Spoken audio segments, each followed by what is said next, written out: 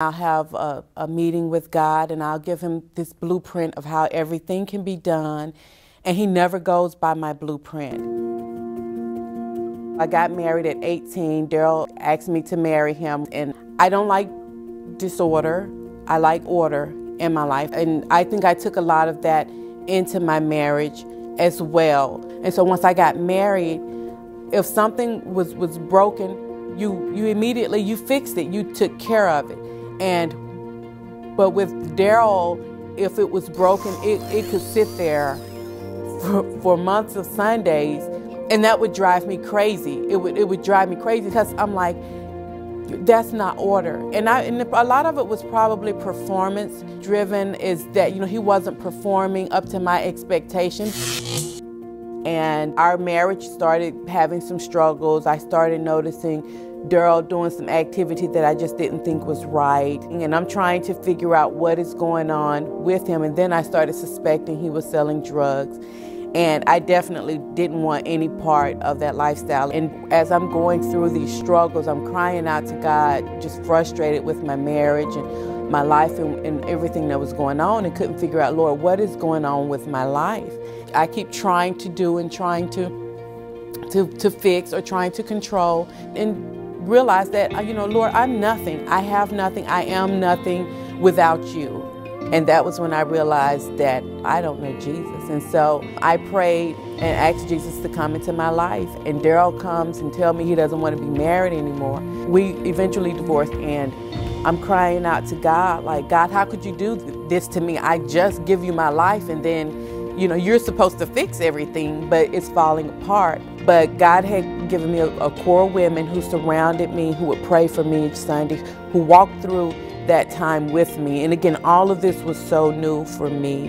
And uh, during that time, I'm, I'm just growing just like a, a, a wildflower, just crazy growing. And two years later, God, um, Daryl calls me and said, God has, you know, he's been, he's saved. And I'm like, okay, that's good. And then he started talking about he really, you know, God wanted us to reconcile. And it was like a wall went straight up, and it was like, nope, I'm, I'm not doing it. I've been through that before. You got me once, you won't get me again. And I wasn't going for that. And, you know, at the same time, God was still, you know, working in my life and showing me some things. And me and God were having our little, you know, battles because I was going to convince him that I was better than Daryl. I no, you you know, you need to give me somebody better than that because he took me through so much. He sold drugs, he walked out, he did all the bad things. But then God began to show me some of the things that were in my heart, the bitterness that I carried, uh, even not respecting him as a man. Things Daryl didn't grow up with a dad, and he didn't understand how to fix stuff. And so I would probably degrade him and say some ugly things and not build him up and that. And God began to show me in my life, you were pretty messed up. Yours were not necessarily external, but you had some internal issues of, of feeling like you're you're better. And it, they weren't nice things to see, um, you know, inside. But of course, I tried to play the measuring game, but God is still, they still weren't as bad as what He did. You know, they, they don't compare. And, and God showed me that I needed Jesus just as much as Daryl, holding that mirror up of my life before me. And I didn't want to see that. I wanted to see that He was all bad and there was a lot more good in me. And, and God was able to show me, no, you know, here, here is where you are.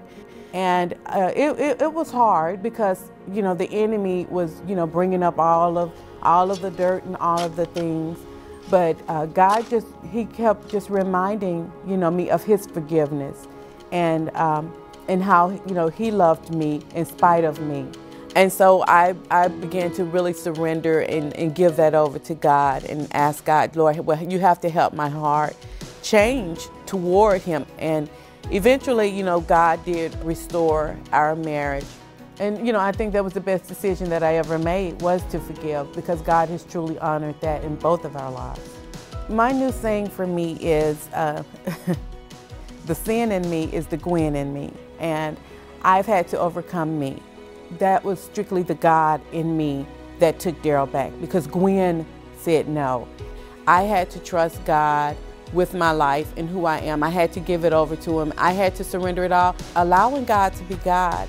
I'm going to let you handle your business. You know, because then when He does it, then I look back and it's always like, oh, God, that's what you were doing. It makes sense now. I wasn't even going to do it this way, and it turned out so great, you know, and realize that I can truly trust in the Lord uh, and that, that God has my back, that He's, he's going to take care of me.